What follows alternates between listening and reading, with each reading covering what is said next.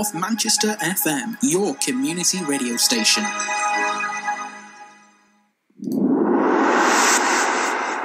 I'm in Manchester today talking to Ella Dufton, the producer and director of A Surgeon's Photograph. Hi, Ella. Tell me about A Surgeon's Photograph. So, A Surgeon's Photograph is set mainly in the 70s in Scotland. Um, so, Robert's dad's killed on the loch and he's grown up thinking that um, Nessie is the one who's actually killed his dad. Um, so, we kind of follow him and his friends as they journey to uncover the truth about what happened and follow the relationships as they go. And this is a musical as well. Um, tell me a bit about the music. Yeah, so it's um, a brand new musical. Um, the inspirations mainly come from Scottish culture and folklore, sort of mixed with elements of 70s culture. So there's like progressive rock elements, and David Bowie's been like a really key influence um, as we go along. Yeah. So this is a it's a new show, although it has it, it been around. Some of the ideas and the the music has sort of been in development for a while. Yes, so it sort of started off as a concept album, um, and it's been in the pipeline for a few years now, and we sort of as a production company decided to come back and revisit it um, and made some major changes and make it really relevant to the current day.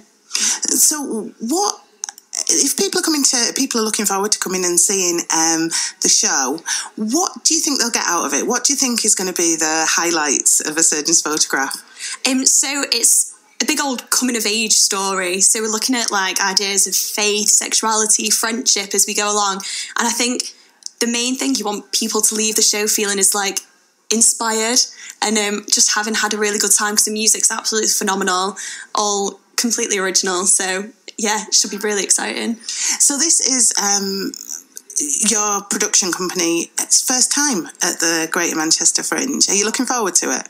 Yeah, we're so excited to get started. So, um, like, in, this is in conjunction with my brother. So my brother's actually the one who's written the show, um, and we've done the Edinburgh Fringe a few times, um, and decided that you know what we really want to create our own show, and we're starting off in Greater Manchester because we're from here. It makes sense, and um, yeah, really excited. And I'm right that the two of you are from Bury. Yeah, yeah. So we've born and bred, um, grown up in Bury, went to school in Bury, so very much of the area. yeah, but there's the Scottish influence there too. Um, where where did the where did that come from? Where did that kind of influence? You mentioned the folklore and the culture and that. Where's that come from?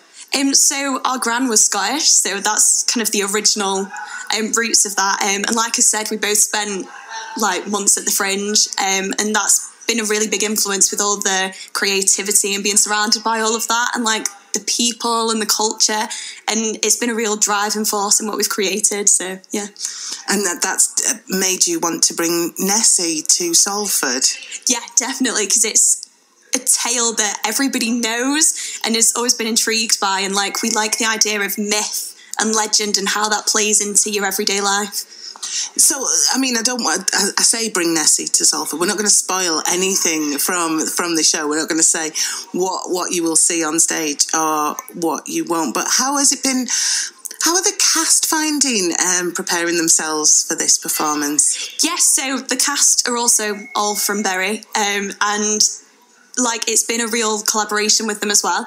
Um, so a lot of them were involved in the original recording, which we did, um, and they're just sort of bringing their own ideas, and it's been really great to get everybody involved. What are the particular challenges with with staging a musical? I mean, it's quite ambitious for for you know the first performance you've done at the Great Manchester Fringe because a musical is it's yeah. What are the challenges? Um, so obviously the challenges come with the music and learning the music. But um, it's we've got such a solid foundation, and all our cast is so so talented as well that it's just been picked up really really easily. Um, and I'm trying to think another challenge. It's trying to create the magnitude of the loch in a theatre in Manchester. Um, but we're giving it a good go, and it's looking looking really good. So yeah, atmosphere, magnitude, because these are things that people associate with Loch Ness. I mean, it's it's a pretty huge empty space. Well, maybe empty, maybe empty, who knows?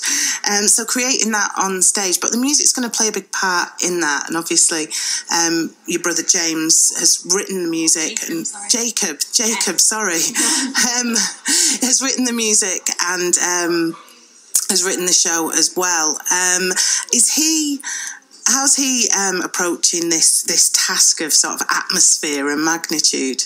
Um, so it's the music sort of builds as we go through the whole thing, um, and it's can be very atmospheric as well. Um, so at the beginning, it's a bit more questionable, and then we build and build as we go on through.